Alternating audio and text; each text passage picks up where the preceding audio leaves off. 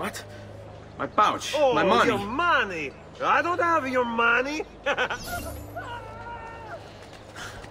Get back here! Make me.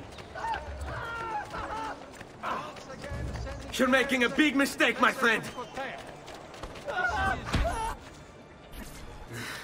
I really have no interest in hurting you. So give me back my money and we'll call it even. Not so fast. What do you want? Who are you? They call me many things. Murderer, tagliagole, thief. But you may call me La Volpe. At your service, Messer Ezio. How do you know my name? it is my business to know everything in this city. Isn't that why you're here? Indeed. I need to find someone. To know where he'll be before even he does. Who? Francesco de Pazzi. There's word on the street of a caravan just arrived from Roma. A secret meeting at sunset tonight. You can learn something of Francesco's whereabouts there. Do you know where it is to be held? Ma certo. Let me know when you are ready, and we'll go. Ah, yes. Here is your money.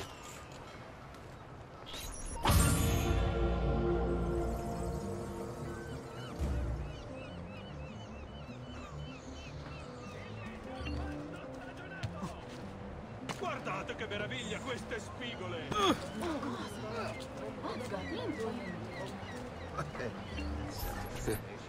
Follow me. But we must move fast. Think you can keep up?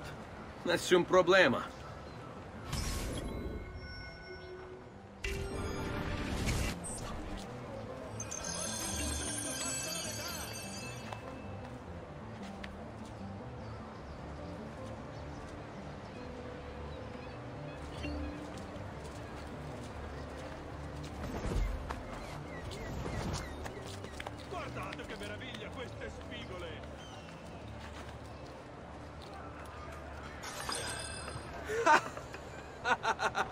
What are you doing back there?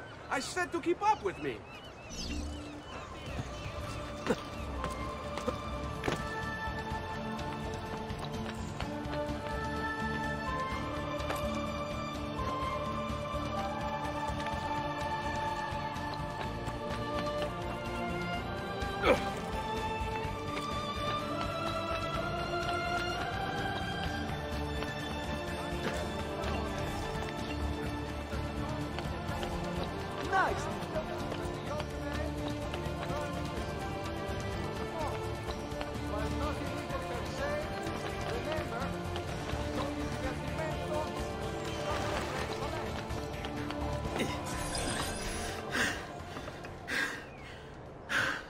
Here we are.